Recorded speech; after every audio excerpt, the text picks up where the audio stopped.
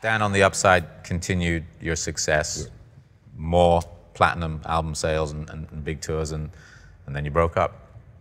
Why? Not selling enough records, I guess. I think we had that. That kind of has down the mostly to do with the fact that it was, though it seems like a, a weird time for a band to split up.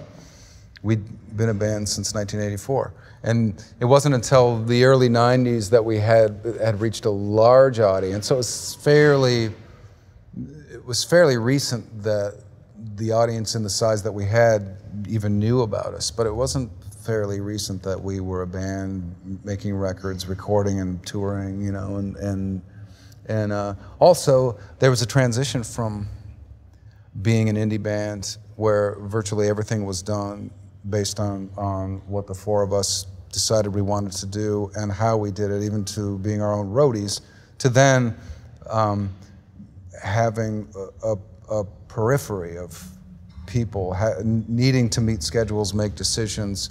Um, and some of that is just the- nature of how things are when your audience expands and you sell more records. And some of it was just the fat of a stupid industry that is now dead because of it. Um, So, was there a level of disenchantment with what you had gotten yourselves into? And, and the follow up to that is when you decided to stop, did you think that was it?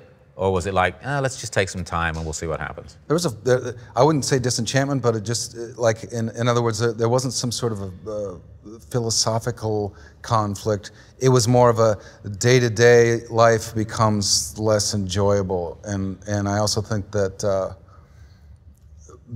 we're, in, because of, of what we had created, for me, there's like this preservationist attitude towards it. Like, if this is going to be icky, then let's just not do it, because up to that point, we hadn't done anything we hadn't made any mistakes with our music. We hadn't made any mistakes in front of our fans. We hadn't done anything that we, We hadn't made any of. mistakes friendship wise or No. relationship wise. We were all really good friends still.